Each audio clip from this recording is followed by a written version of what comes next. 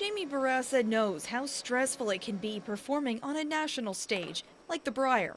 To walk out on the ice uh, and there's 17,000 people watching, it's, it's pretty neat. But he isn't throwing or sweeping for any team. Bourassa is the chief ice technician for the Canadian Curling Association.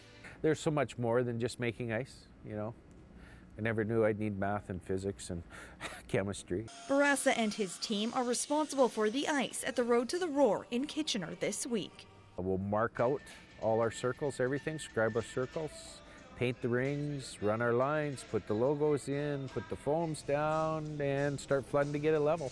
And all that is accomplished in just days. When we start to have to maintain it and get it ready to play on, that's when the real work becomes. And getting the ice right for this event is critical. The top two men's and women's teams will earn a berth in the Canadian Olympic trials. It was also a little bit slow today, but I think as the ice breaks in, we'll see we'll see nice speed. It was um, really swingy, which we thought was going to happen. Usually, when you come to arena ice, it's swingy, so that's good. We like that. Which is the beginning of a successful week for the ice crew. The players have to be good. We have to give them a good product so they can be good.